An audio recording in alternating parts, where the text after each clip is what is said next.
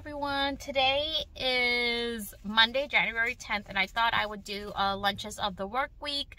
I am eating in my car. I just feel kind of with the surge and everything a little bit safer. I didn't do it the day that it was snowing, uh, but I did do, I, I have done it before and I'll continue to do so until the numbers get a little bit lower sorry my lips feel so dry uh, so here's my lunch i'm having a salad yesterday we took out uh, Olive Garden, we took out.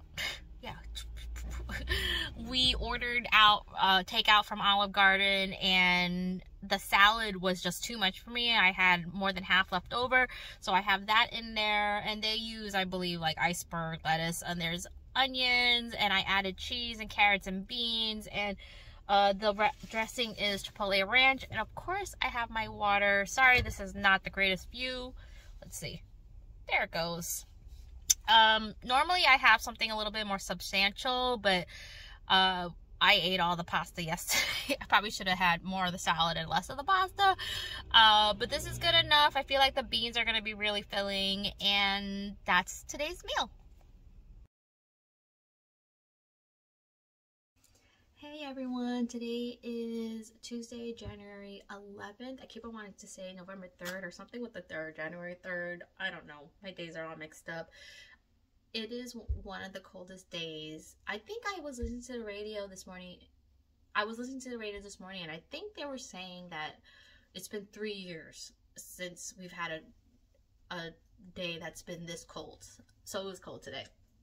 Um, I forgot to share with you my lunch because I technically didn't eat my lunch. I just I've been having one of those days where I couldn't wait to go home because I just have not been sleeping well this for the past couple of weeks. Just can't get enough sleep and you know that makes you irritable and I was just picking out food. Uh, we started hot lunch at school again and uh, the kids don't really enjoy it and I was picking it was burgers and fries today and the fries are actually really good. Um, so I was picking at that and I got, I had to do something this morning so I got breakfast. I got this cherry Danish and it was look at how good that looks. I didn't eat the whole thing. Uh, it's hard to eat during the day in the classroom.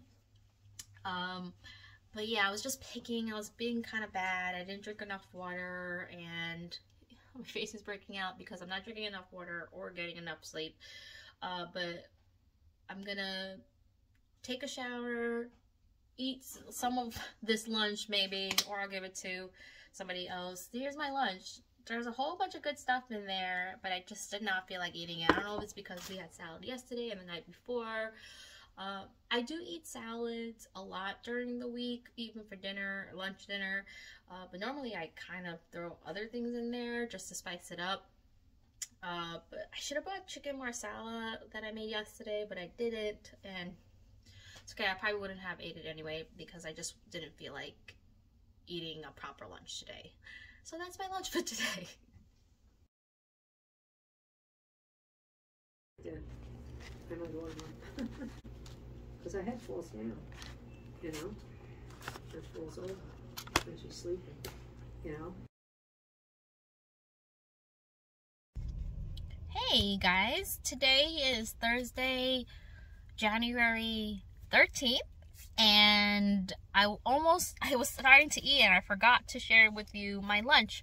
Almost though I remembered. And today I am having school lunch because there was so much left over. So I'm gonna turn you around so you could see.